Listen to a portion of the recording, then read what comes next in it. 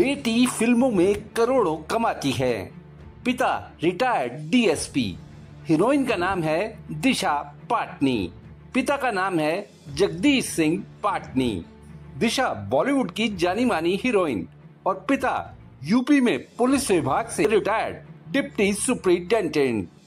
लेकिन हैरत की बात है कि पुलिस विभाग में बरसों काम कर चुके जगदीश सिंह पाटनी को ही ठगों ने 25 लाख रुपए का चूना लगा दिया। जगदीश सिंह पाटनी को कुछ ठगों ने झांसा दिया कि वो उन्हें किसी सरकारी आयोग में अध्यक्ष या उपाध्यक्ष बनवा देंगे।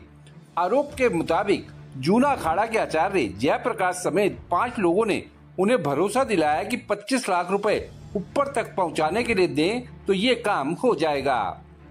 पैसे देने के तीन महीने बाद भी काम नहीं हुआ। ऐसे में थक हार कर जगदीश सिंह पाटनी ने 15 नवंबर देर शाम बरेली कोतवाली में पाँच लोगों के खिलाफ 25 लाख रुपए की ठगी की रिपोर्ट दर्ज कराई। हैरानी की बात है, पुलिस के ऊँचे पद पर तैनात रहा अधिकारी ही सिफारिश के खेल में 25 लाख गंवा बैठा।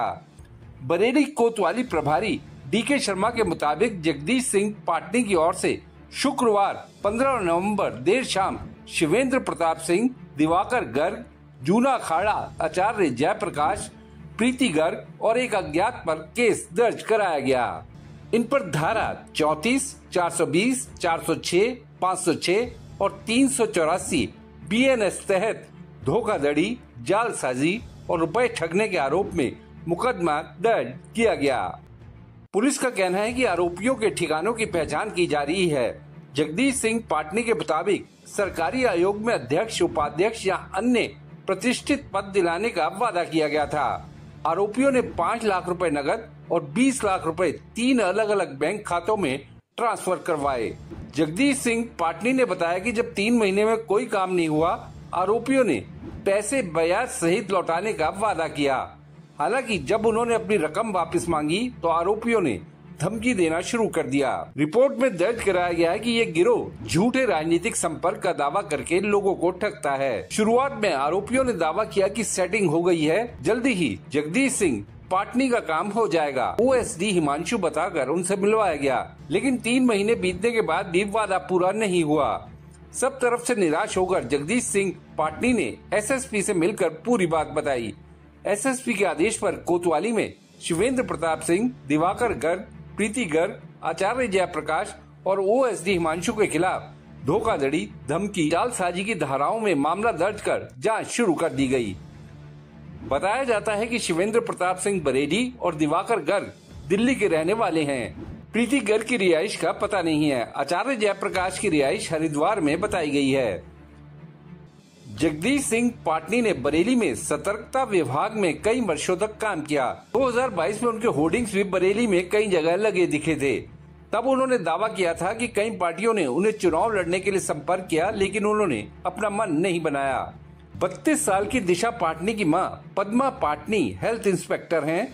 वही दिशा की बड़ी बहन, खुशबू पाटनी, भारतीय सेना में लेफ्टिनेंट रह चुकी हैं। दिशा का एक छोटा भाई, सुजश भी है। दिशा पाटनी ने 2015 में तेलुगु फ़िल्म लोफर से फिल्मी करियर की शुरुआत की। 2016 में दिशा को बॉलीवुड में बड़ा break, M S Dhoni, the untold story में मिला।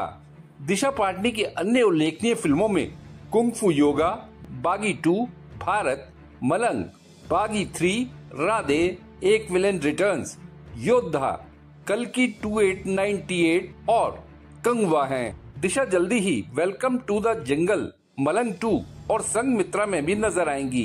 बहरहाल दिशा पाटनी के पिता से 25 लाख रुपए की ठगी का मामला हर जगह सुर्खियों में है। देशनामा के लिए खुशदीप सहगल की रिपोर्ट। आपको ये वीडियो कैसा लगा? या अगर आपके दिमाग में कोई सवाल है तो कमेंट बॉक्स में ज़रूर बताइएगा। वीडियो पसंद आया तो लाइक, शेयर करना ना भूलिएगा। आपने देशनामा को सब्सक्राइब और नोटिफिकेशन के लिए घंटी वाला बटन दबा ही दिया होगा। फिर मुलाकात होगी आपसे। तब तक के लिए नमस्कार।